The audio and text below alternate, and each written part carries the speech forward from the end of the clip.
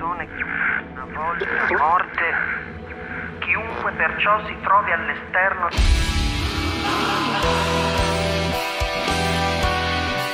Fin da quando ero piccola mi sono sempre appassionata al mondo dello spettacolo, al cinema, alla televisione. Ad un certo punto della mia vita ho sentito l'esigenza di abbandonare le vesti di semplice fruitore di cinema per capire cosa c'è dietro a questo mondo, i meccanismi che muovono appunto il cinema. Con Federico Greco posso dire che è stato un, un grande insegnante, mi ha fatto capire in piccolo cosa significa fare cinema e com'è il mondo del cinema di fuori. Purtroppo non ho avuto un'esperienza molto positiva con un'altra accademia, però poi ho avuto la fortuna di incontrare il cineteatro e persone, oltre ad essere dei professionisti, ma anche degli appassionati.